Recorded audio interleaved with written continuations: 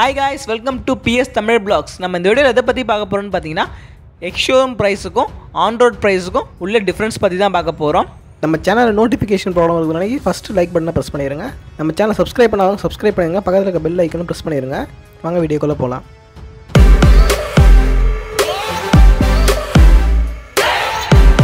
Guys நம்ம viewers பார்த்தீங்கன்னா நிறைய பேர் எக்ஷோரூம் ப்ரைஸ்னால் என்ன ஆன் ரோட் ப்ரைஸ்னால் என்ன அப்படின்னு சொல்லிட்டு டிஃப்ரென்ஸ் நிறைய பேர் கேட்டிருந்தாங்க. அதுக்காக நம்ம வந்து ஸ்பெஷலாக இந்த இது பண்ணியிருக்கோம். இந்தியாவில் பார்த்தீங்கன்னா ex showroom price on road ப்ரைஸ்னு சொல்லிட்டு ரெண்டு சொல்லுவாங்க. இப்போ வந்து நீங்கள் எக்ஸாம்பிளுக்கு ஒரு கார் வாங்க போகிறேன்னு வச்சுக்கோங்க. நீங்கள் வந்து அட்வர்டைஸ்மெண்ட்டில் அதாவது விளம்பரத்தில் வந்து நீங்கள் பார்த்துருப்பீங்க அந்த காரோடைய விலை வந்து மூணு லட்ச ரூபான்னு சொல்லிட்டு சொல்லுவாங்க. நம்ம அதே ஷோரூமுக்கு போய் போய் கேட்டிங்கன்னா ஒரு மூணு லட்சத்தி ஐம்பதாயிரம் சொல்லுவாங்க. ஆன் ரோட் ப்ரைஸ் அப்படின்னு சொல்லி சொல்லுவாங்க. இது எக்ஷோரூம் ப்ரைஸ் அது ஆன் ரோட் ப்ரைஸ் அப்படின்னு சொல்லுவாங்க. நமக்கு வந்து நிறைய பேருக்கு வந்து இது கன்ஃபியூஷன் இருக்கும். என்னடா இது? நமக்கு வந்து மூணு லட்ச ரூபா தான் வி- விளம்பரத்தில் போட்டிருந்தாங்க. ஆனால் இவங்க கேட்டால் மூன்றரை லட்சம் சொல்கிறாங்க அப்படின்னு சொல்லிட்டு நமக்கு கன்ஃபியூஷனாக இருக்கும். இல்லை சார் இது வந்து எக்ஷோரூம் ப்ரைஸ் அது வந்து ஆன் ரோட் ப்ரைஸ் அப்படின்னு சொல்லி சொல்லுவாங்க. இந்த எக்ஷோரூம் ப்ரைஸ்னால் என்னன்னு பார்த்தீங்கன்னா இந்த காரை வந்து மேனுஃபேக்சரிங் பண்ணுறாங்க பார்த்தீங்களா அதாவது உற்பத்தி பண்ணுறாங்க பார்த்தியா அந்த கம்பெனியோடைய ரா மெட்டீரியல்ஸ் எல்லாமே வாங்குறாங்களா? அது ப்ளஸ் ஜிஎஸ்டி அங்கேருந்து காரை வந்து உங்கள் ஷோரூமுக்கு வந்து டிரான்ஸ்போர்ட் பண்ணுறாங்க பார்த்தீங்களா அந்த சார்ஜஸ்ஸு அதுக்கப்புறம் டீலருக்கு கொஞ்சம் ப்ராஃபிட்டோட சேர்த்து தான் எக்ஸ்ஷோரூம் ப்ரைஸ்னு சொல்லி சொல்லுவாங்க.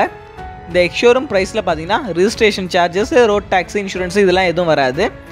அதுக்கப்புறம் நீங்கள் காரை வாங்கிட்டீங்க. இப்போ எக்ஸ்ஷோரூம் ப்ரைஸில் நீங்கள் மூணு லட்ச ரூபா கொடுத்து கார் வாங்கிட்டீங்க. அந்த காரை வந்து இந்தியா ரோட்டில் ஓட்டணும்னா நீங்கள் அதுக்கு வந்து ரிஜிஸ்ட்ரேஷன் பண்ணணும். அதுதான் ஆன் ரோட் ப்ரைஸ்னு சொல்லுவாங்க. ஆன் ரோட் ப்ரைஸ்னு சொல்கிறாங்களா அந்த ஆன் ரோட் ப்ரைஸில் என்னென்ன வருதுன்னு பார்த்தீங்கன்னா இன்சூரன்ஸ் டேக்ஸு ரிஜிஸ்ட்ரேஷன் இதெல்லாம் பண்ணணும். இதெல்லாம் என்னென்ன அப்படின்றத டீட்டெயிலாக சொல்கிறேன் நான். ஃபஸ்ட்டு ரிஜிஸ்ட்ரேஷன் நீங்கள் கார் வாங்கினா அடுத்த ஸ்டெப் பார்த்தீங்கன்னா ரிஜிஸ்ட்ரேஷன் சொல்லிட்டு சொல்லுவாங்க. அது என்னன்னு பார்த்தீங்கன்னா உங்கள் காருக்காக ஒரு யூனிக் நம்பர் வந்து கொடுப்பாங்க. அது என்னன்னு பார்த்தீங்கன்னா ஃபஸ்ட்டு ரெண்டு லெட்டர் வந்து நீங்கள் என்ன ஸ்டேட்டோ இப்போ தமிழ்நாடுனா டிஎன் கர்நாடகானா கேஏ கேரளானா கேஎல் அந்த மாதிரி வந்து உங்களுடைய ஸ்டேட்டை வந்து குறிக்கிற மாதிரி ஃபஸ்ட் ரெண்டு லெட்டர் இருக்கும். அதுக்கு அடுத்து பார்த்தீங்கன்னா ரெண்டு லெட்டர் வந்து உங்களுடைய டிஸ்ட்ரிக்டை குறிக்கிற மாதிரி இருக்கும். இப்போ சென்னைனா ஜீரோ ஒன் சோழிங்கநல்லூர்னா பதினாலு அந்த மாதிரி வந்து விழுப்புரம்னா முப்பத்தி ரெண்டு அந்த மாதிரி வந்து உங்களுடைய டிஸ்ட்ரிக்கு இல்லை வட்டாரம். அதை வந்து குறிக்கிறதுக்காக அடுத்த ரெண்டு டிஜிட் இருக்கும். அடுத்து பார்த்தீங்கன்னா ஆல்ஃபபெட் இருக்கும். ஆல்ஃபபெட் எப்படின்னா ஏபிசிடின்னு இருக்கும். இந்த ஜீன் இருக்கிறது மட்டும் கவர்மெண்ட் வெஹிக்கிள் மற்ற சீரீஸ் எல்லாமே மற்ற லெட்டர்ஸ் எல்லாமே நமக்கு வந்து கொடுப்பாங்க. அதுக்கு அடுத்து இருக்குது பார்த்தீங்கன்னா நாலு நம்பர் வந்து நம்ம வண்டிக்கு கொடுப்பாங்க. இதுதான் ரிஜிஸ்ட்ரேஷன் சொல்லி சொல்லுவாங்க. அடுத்து பார்த்தீங்கன்னா ரோட் டேக்ஸ் இந்த ரோட் டேக்ஸ் பார்த்தீங்கன்னா இது வந்து ஒரு ஒன் டைம் டேக்ஸ் இந்த ரோட் டேக்ஸ் எப்படின்னு சொல்லிட்டு கால்குலேட் பண்ணுவாங்கன்னு பார்த்தீங்கன்னா உங்களுடைய வண்டியோடைய எக்ஷோரூம் ப்ரைஸ் அதாவது வண்டியோ இல்லை காரோ அதோடைய விலை இருக்குது பார்த்தீங்களா இப்போ மூணு லட்ச ரூபா சொன்னால அதுலேருந்து மூணு சதவீதத்துலேருந்து இருபது சதவீதம் வந்து ரோட் டேக்ஸாக வந்து வசூலிப்பாங்க. நீங்கள் வந்து உங்களோட ஒரு டீலரை வந்து கேட்கலாம். நீங்கள் ரோட் டேக்ஸ் ஏன் அதிகமாக போட்டிருக்கீங்க அப்படின்றத உங்களை டீலர் வந்து கேட்கலாம். ஏன்னா டீலர்ஸ் பார்த்தீங்கன்னா இதில் வந்து ரோட் டேக்ஸில் வந்து அதிகமாக வந்து வாங்குவாங்க.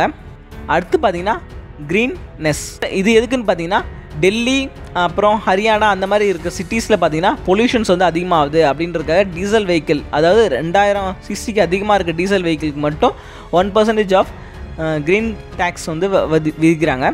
அடுத்து பார்த்தீங்கன்னா டேக்ஸ் கலெக்ட் அட் சோர்ஸ் இது எப்படி- இது எதுக்குன்னு பார்த்தீங்கன்னா டீலர்ஷிப்லேருந்து கவர்மெண்ட்டுக்கு வந்து அவங்க பே பண்ணணும். ஆனால் வந்து நம்ம கஸ்டமர்ட்டேருந்தே அவங்க வந்து வாங்கிக்கிறாங்க. இது வந்து அவங்க டேக்ஸ் கிளைம் பண்ணக்குள்ளே வந்து அவங்களுக்கு வந்து ரிட்டர்ன் வந்து இந்த அமௌண்ட் வந்து கொடுத்துருவாங்க. அடுத்து பார்த்தீங்கன்னா ஹேண்டலிங் அண்ட் லாஜிஸ்டிக்ஸ் சார்ஜஸ்ன்னு சொல்லிட்டு போடுவாங்க. அதாவது டிரான்ஸ்போர்ட் சார்ஜஸ் அதாவது உங்கள் கார் வந்து கம்பெனிலேருந்து ஷோரூமுக்கு வந்த சார்ஜஸ்ன்னு சொல்லிட்டு சொல்லுவாங்க. இந்த சார்ஜஸ் வந்து கஸ்டமர்கிட்ட வாங்கக்கூடாதுன்னு சொல்லிட்டு சுப்ரீம் கோர்ட் வந்து இதுக்கு முன்னாடியே சொல்லிட்டாங்க. இருந்தாலும் வந்து பல டீலர்ஷிப்ஸ் வந்து இன்னும் இந்த காசை வந்து வாங்கிட்டு தான் இருக்காங்க. இது எல்லாமே எக்ஷோரூம் ப்ரைஸ்லேயே வந்து இந்த டிரான்ஸ்போர்ட் சார்ஜஸ் தான் வரணும் அப்படின்னு சொல்லிட்டு சுப்ரீம் கோர்ட் நிர்ணயம் சொல்லியிருக்காங்க. ஆனால் இன்னும் பல டீலர்ஷிப் வந்து வாங்கிட்டு இருக்காங்க. அடுத்து பார்த்தீங்கன்னா இன்சூரன்ஸ் இன்சூரன்ஸுன்றது பார்த்தீங்கன்னா ஒரு முக்கியமான இது. நீங்கள் வந்து வண்டி போயிட்டுருக்குள்ள எங்கே ஆக்சிடென்ட் ஆனாலோ இல்லை நீங்கள் ஆப்போசிட்டில் போயிட்டு யாரையா இடித்தாலோ அது வந்து தேர்ட் பார்ட்டி இன்சூரன்ஸில் வந்து கவர் ஆகும்.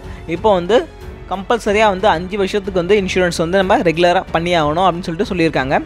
நீங்கள் வண்டி பர்ச்சேஸ் பண்ணக்குள்ளே பார்த்தீங்கன்னா அஞ்சு வருஷத்துக்கான இன்சூரன்ஸ் வந்து அவங்க போட்டு கொடுத்துருவாங்க. அதுக்கப்புறம் நீங்கள் வேணும்னா தேர்ட் பார்ட்டி இன்சூரன்ஸ் மட்டும் போட்டுக்கலாம். இந்த ஆன்ரோட் ப்ரைஸ் இதில் இது இல்லாமல் அடுத்து எக்ஸ்டெண்டட் வாரண்டின்னு சொல்லிட்டு இன்ஜினுக்கோ இல்லை வண்டிக்கோ மொத்தமாக வந்து எக்ஸ்டெண்டட் வாரண்டின்னு சொல்லிட்டு ஒரு சம் அமௌண்ட்ஸ் வந்து கேட்பாங்க. ஆனுவல் மெயின்டெனன்ஸ் பேக் அப்படின்னு சொல்லிட்டு ஒரு அமௌண்ட் எதாவது கேட்பாங்க. இது இல்லாமல் எசென்ஷியல் அக்சசரிஸ் இப்போ நீங்கள் அந்த காரில் பார்த்தீங்கன்னா கஸ்டமைஸாக வந்து நீங்கள் இந்த ஃப்ளோர் மேட்டு மட் கவரு அந்த மாதிரி அக்சசரிஸ் வந்து நீங்கள் டீலர்ஷிப்லேயே வாங்கினீங்கன்னா அது வந்து இந்த எல்லாத்தையுமே சேர்த்து ஆன் ரோட் ப்ரைஸாக வந்து சொல்லுவாங்க. அதாவது எசென்ஷியலாக இப்போ பைக்னால் இன்ஜின் கார்டு அது மாதிரி பின்னாடி சாரி கார்டு அந்த மாதிரி வந்து கார்ட்ஸ் எல்லாம் வாங்குறீங்கன்னா அது எல்லாத்தையும் சேர்த்து ஆன் ரோட் ப்ரைஸில் அவங்க போட்டு தருவாங்க. நம்பர் பிளேட்டும் அவங்க சில ஷோரூமில் வந்து காசு வந்து கலெக்ட் பண்ணுறாங்க கைஸ் இந்த ஃபைனலாக பார்த்தீங்கன்னா இந்த எக்ஷோரூம் ப்ரைஸையும் ஆன் ரோட் ப்ரைஸையும் சேர்த்து தான் உங்களுக்கு ஆன் ரோட் ப்ரைஸ்னு சொல்லுவாங்க. இது பார்த்தீங்கன்னா ஒரு ஒரு ஸ்டேட்டுக்கும் அதாவது ஒரு ஒரு டிஸ்ட்ரிக்கும் பார்த்தீங்கன்னா வேரி ஆகும். எப்படின்னா இந்த எக்ஷோரூம் ப்ரைஸ் பார்த்தீங்கன்னா இந்த டிரான்ஸ்போர்ட் சார்ஜஸ் ஜிஎஸ்டி டேக்ஸஸ்ஸு மற்ற டேக்ஸஸ் ஸ்டேட்டு வந்து ஸ்டேட்டு மா வந்து டேக்ஸஸ் வந்து மாறும். அது மாதிரி ஆன்ரோட் ப்ரைஸஸும் எல்லா ஷோரூமுக்கும் மாறும்.